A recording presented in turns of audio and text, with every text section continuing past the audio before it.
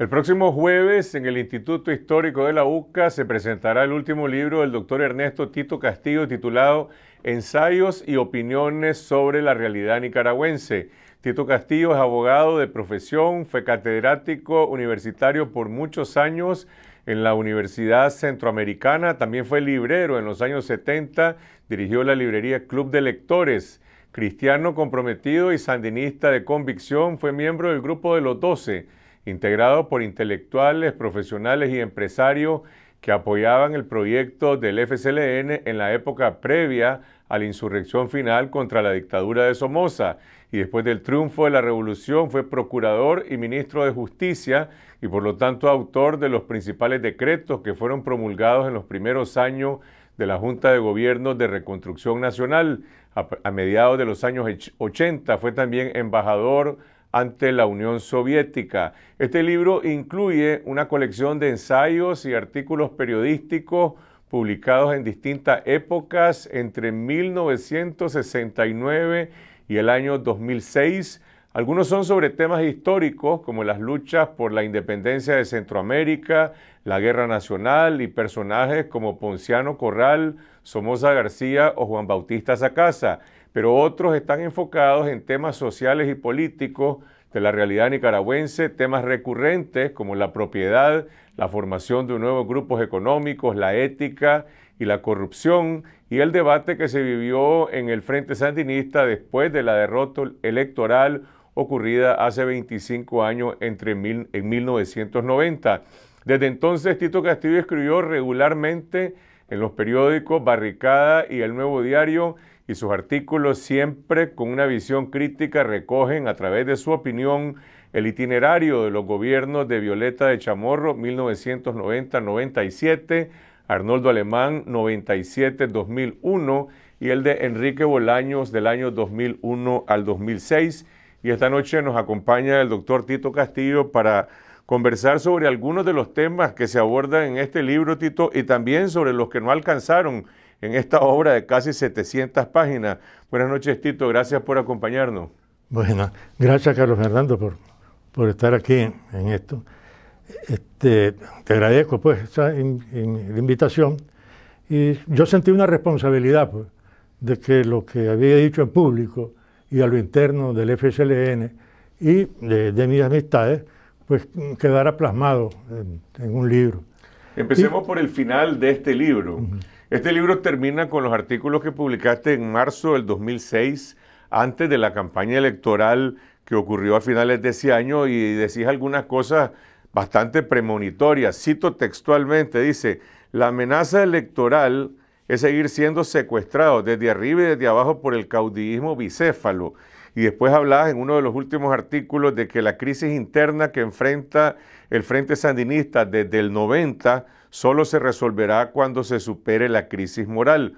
Unos meses después que publicaste estos artículos, Daniel Ortega regresó al poder, pero también tu columna desapareció del nuevo diario y la gente se pregunta por qué dejaste de publicar tus reflexiones eh, de estos artículos. Pero es que hay que ver esto, Carlos Fernando. Acuérdate que eso comenzó en barricada.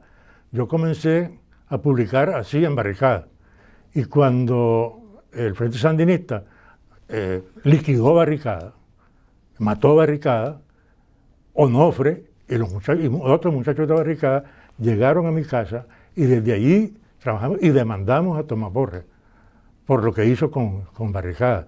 Entonces Barricada terminó allí y por supuesto no iban a publicar absolutamente nada y ya cambió totalmente la política de difusión del FSLN bajo el control de, de al final. Entonces pasaste a publicar tus artículos al Nuevo Diario, al nuevo diario correcto. Por, un, largo periodo. La, pregunta es por qué se suspenden ahí por marzo del 2006.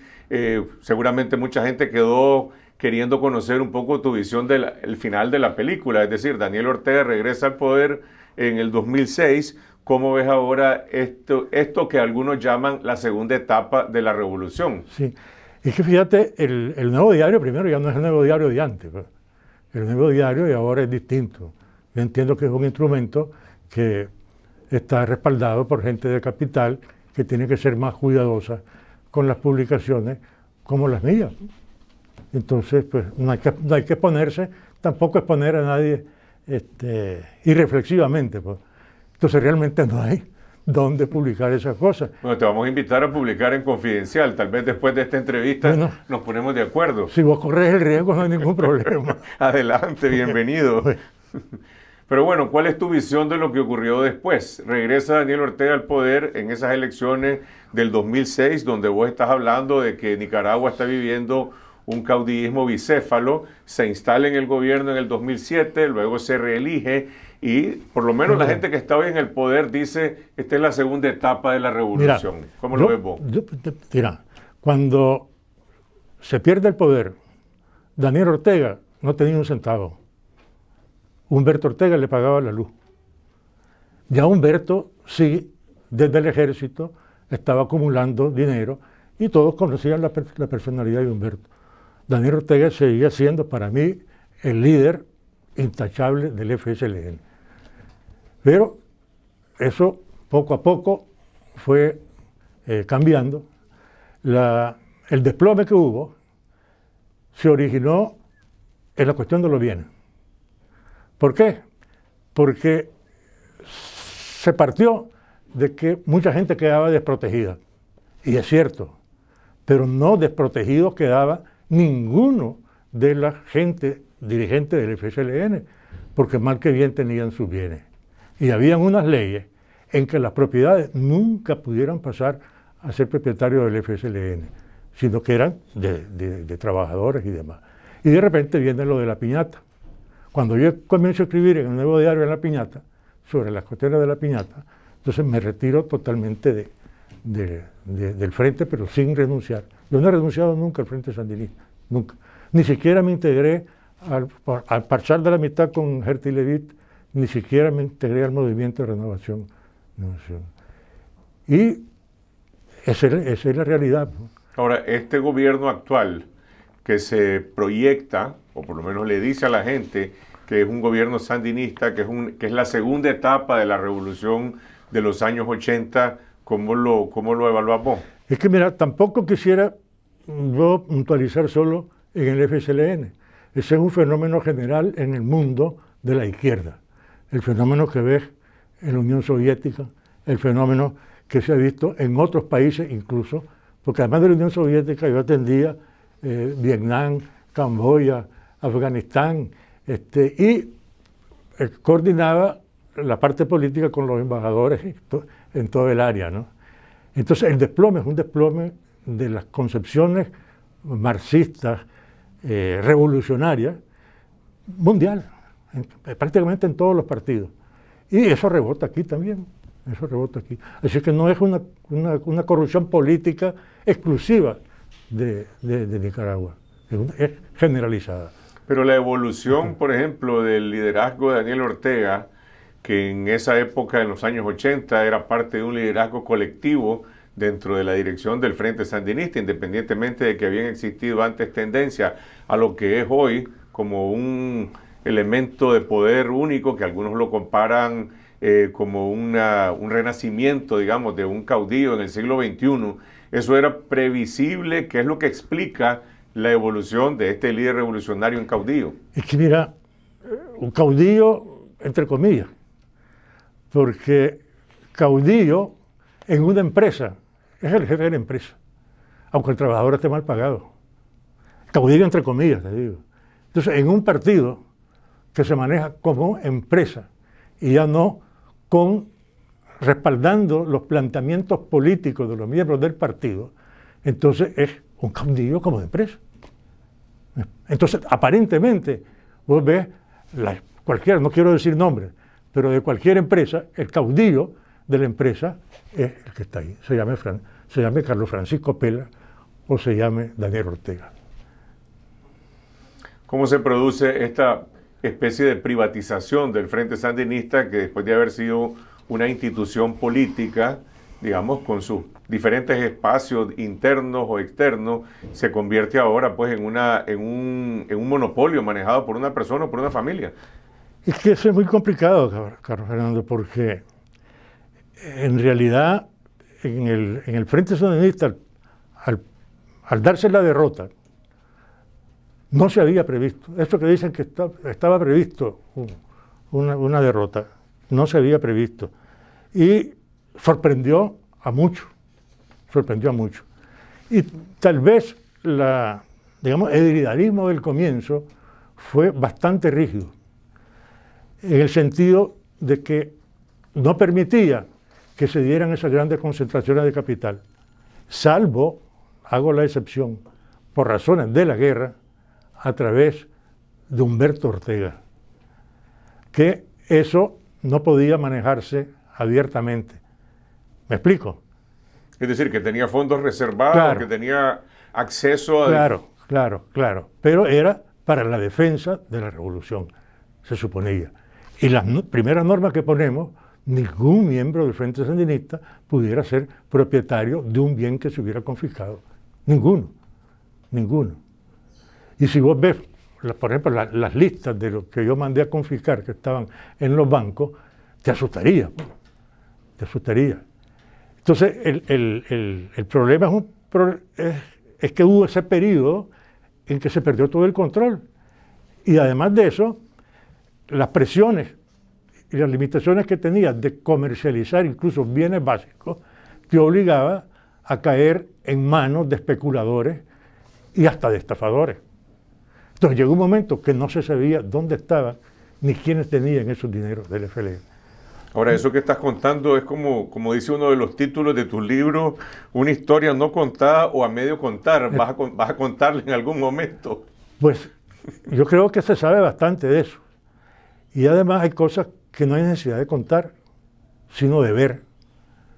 Si vos ves, por ejemplo, yo le tengo aprecio a Bayardo Arce, pero Bayardo Arce ha asumido su carácter de capitalista con tanto, tantísimo más empeño ahora que tal vez en la época de la revolución. Y está en su derecho.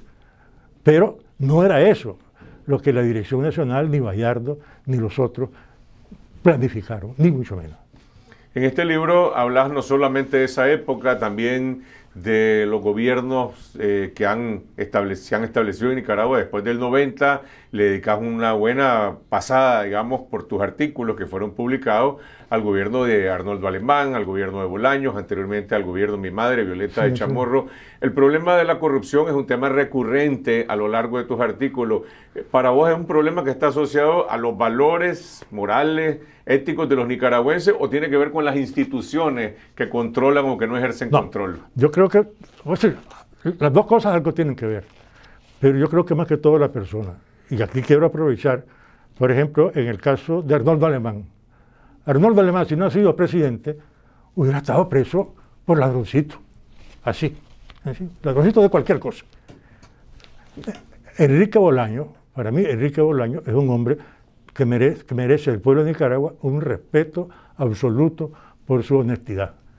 Y vos lo ves ahora, Enrique Bolaño retirado, y su mejor obra es lo, que tiene en su, historia, que vos lo conoces bien, que está digitalizado todo.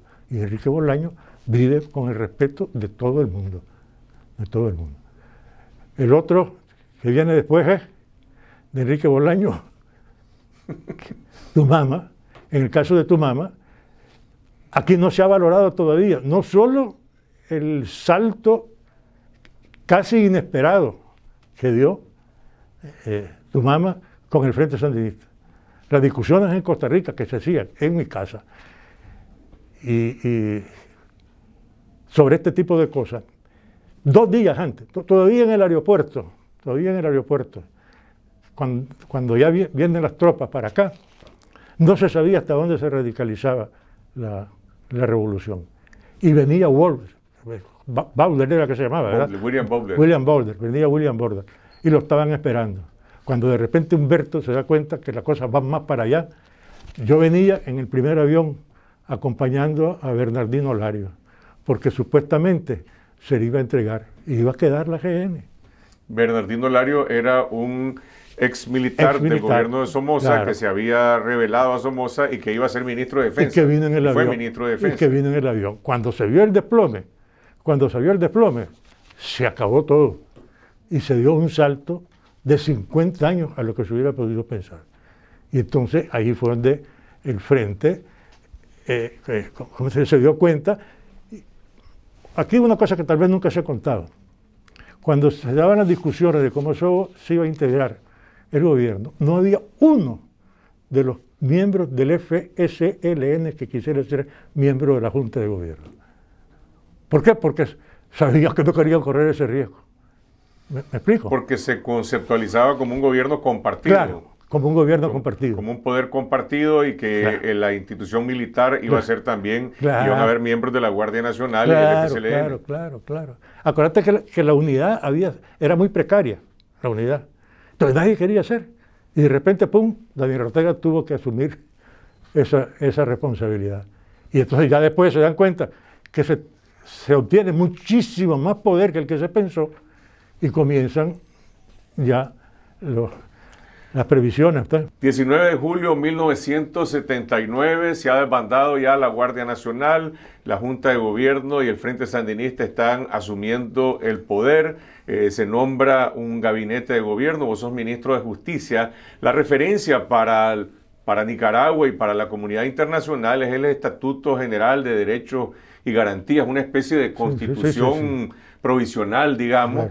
Eh, se anuncia el decreto 3 por, a través del cual se confiscarán todas las propiedades de Somoza, pero vos explicás en este libro de que a partir de ese momento, con el cambio en la correlación de fuerzas políticas, se aceleró el proceso, digamos, de radicalización o de acciones que se tomaron desde el gobierno, que se tradujeron en decreto. Supongo que muchos de esos decretos te tocó, te tocó a vos diseñarlo y redactarlo. Sí, sí, sí, y asumo, asumo la responsabilidad porque comprendí que se había logrado muchísimo más de lo que habíamos pensado y que se tenía que tener eh, una política fuerte, porque el Frente Sandinista todavía era muy poco, muy poco y además clandestino.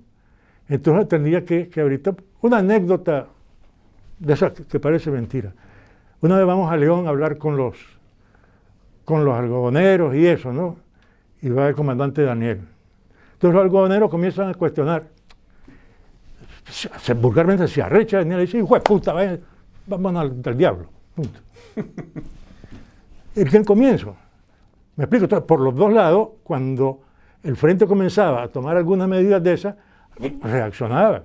Entonces tenían que, que irse aplicando a través de decretos medidas de fuerza, bien de confiscaciones, etcétera, etcétera, etcétera, hasta la prisión pero vos acabas de decir, el Frente Sandinista era muy poco, era un grupo guerrillero que había liderado esa gran alianza nacional, pero había una alianza nacional y esa alianza nacional estaba de alguna manera agrupada en torno a esa promesa del estatuto, derrocar a Somoza, establecer una sociedad democrática. Hay un sector, hay un planteamiento histórico que dice eh, el Frente se desvió del objetivo original en el que le acompañaba esa alianza nacional. ¿Cuál es tu visión sobre esa historia? Definitivamente.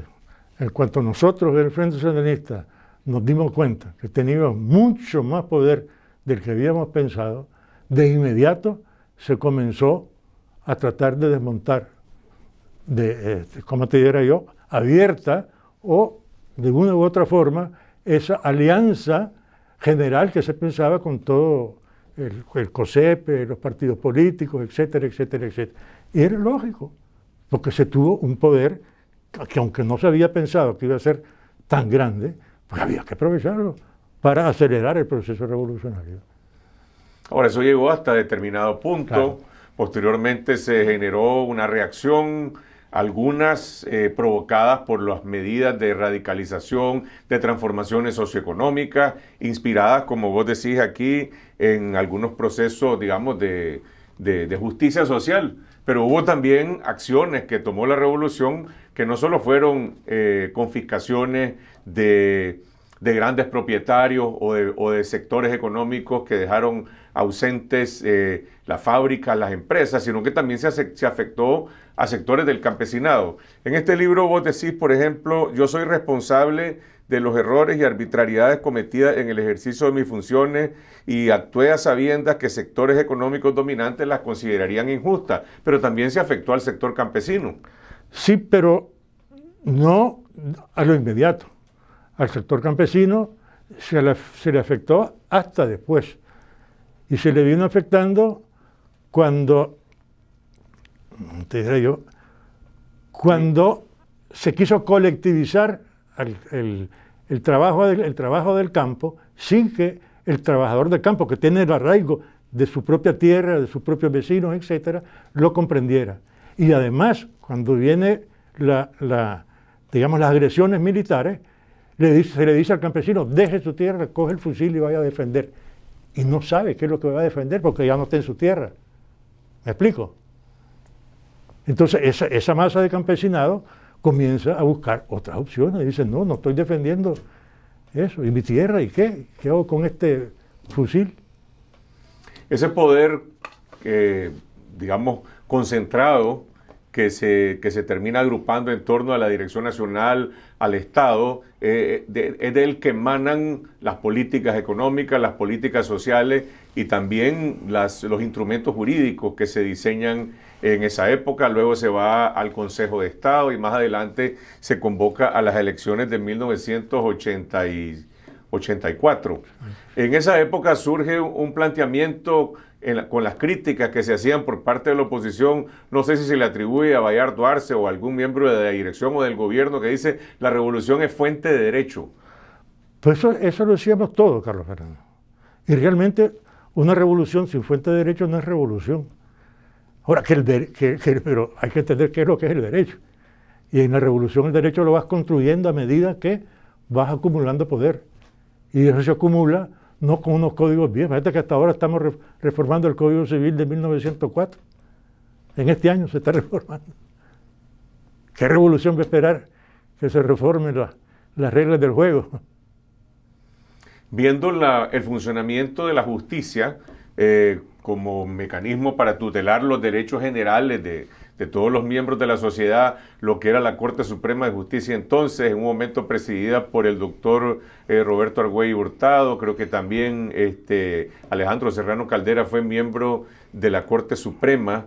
Eh, esa justicia durante la revolución, la justicia en la época del somocismo que vos conociste, en la cual te tocó litigar y defender a presos políticos sandinistas y además actuar en otros ámbitos, la justicia hoy, ¿cómo ves la evolución de la justicia?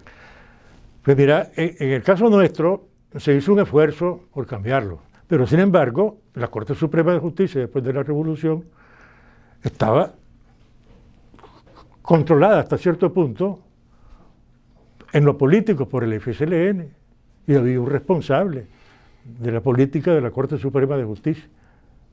Yo tuve responsabilidades sobre la Corte Suprema de Justicia. Como miembro del partido me tocaba atenderlo. Y muchas veces gente como Roberto Argüello, con una gran capacidad de jurista y eso no protestaba, me costaba convencerlo a Roberto. Bueno, Roberto tenía, autonomía la Corte o no tenía autonomía? Una autonomía relativa, porque el Frente Sandinista tenía eh, un equipo político que controlaba el trabajo, el trabajo de los miembros del partido. Y acuérdate que a muchos de ellos después se los hizo miembros del partido. La justificación entonces era la existencia de un proceso revolucionario, una revolución agredida, una serie de, una serie de, metas de transformación social y de construcción y de participación democrática. La pregunta es cómo ves la evolución de la justicia después de esa época, a partir de la transición, el gobierno de Alemán y hoy. Bueno, yo creo que en general, pues los, tribunales de justicia ahora sí eh, tienen eh, hasta cierto punto pues, dentro de la debilidad del propio sistema de códigos y leyes, un avance. Se han reformado muchos códigos, muchos, códigos civiles, códigos penales, etcétera, etcétera, etcétera, y ya no se piensa en que se va a controlar el sistema judicial a través de, una cuestión política violentando pues, una norma de derecho. Pero las cabezas que, que, controlan la Corte Suprema de Justicia, pues todo el mundo sabe de que hay magistrado aquí, magistrado allá, que también bajan, eh, que hay feudos dentro de la Corte y que se manejan también eh, como bancadas políticas. Anteriormente, eh, hasta donde llega tu libro, se hablaba de, la, de la división del bipartidismo, pero ahora hay una, hay una solo, una solo eje de control. Sí, pero en cuanto al, digamos, al conjunto del sistema de justicia, vos te encontrás que, es más o menos normal y que hay, hay más hay grado de independencia del juez. Lógicamente, cuando un partido como el FSLN controla el poder y, hay, hay, hay, sujetos que imparten justicia y son miembros de, un partido político cualquiera, llevan a eso su concepción política. Eso es una cosa normal aquí y en, en cualquier parte de los Estados Unidos y en cualquier parte. Uno de los personajes que aparece en este libro, que también fue un personaje por lo menos mediático de la transición de gobierno, es el profesor José de la Cruz Pérez, a quien aparece aquí en el libro de Ernesto Tito Castillo, que le están haciendo una entrevista y alguien le pregunta que si ya se murió, que por qué no le manda más cartas a la presidenta Violeta de Chamorro, que eran unas cartas amistosas, críticas, en que le daba consejos. ¿Quién es José de la Cruz Pérez? Este, pues, el profesor José de la Cruz Pérez, yo lo conocí cuando llegó tu mamá a, la presidencia, porque no me parecía correcto estar señalando los errores que se pudieran estar dando sin el control de ella. Entonces traté de encontrar una forma, una forma de comunicarme en su relación con ella, con, el gobierno, con el FSLE, y con todo respetuosa, pero con una cierta mordacidad, mordacidad. Y por eso asumí por un rato al profesor José de la Cruz Pérez. Esas cartas se publicaron entre el año 90, 93, incluso se recopilaron en un libro de las cartas del, del profesor José de la Cruz Pérez, pero no, no tuviste posteriormente la inclinación de escribirle cartas o consejos alemán, a Bolaño o ahora a Daniel Ortega? No, es que es totalmente distinto. A doña Violeta yo la respetaba y por eso eran consejos. Totalmente distintos. ¿Cómo es que hay un dicho que dice, bueno, según a quién le va a dar la cara? ¿Cómo? ¿Me explico? Cuando, cuando Bolaño llega al gobierno, cuando uno lee tus artículos que se escriben entonces eh, a inicios del 2001, 2002, hay, hay, una expectativa. Vos decís, hay que darle el beneficio de la duda. Eh, ¿Cómo ves el balance de su gestión? ¿Terminó al final Bolaño siendo rehén de, de estas dos fuerzas políticas?